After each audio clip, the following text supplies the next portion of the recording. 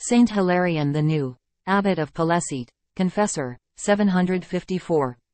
He took up the monastic life when very young, and lived as a recluse for many years, and gained the grace to heal sicknesses and drive out demons by his prayers. Later he became abbot of the monastery of Pelecite in Bithynia.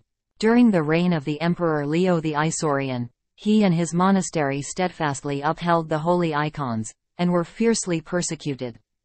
Hilarion and his forty monks were exiled to a prison near Ephesus, where the saint reposed.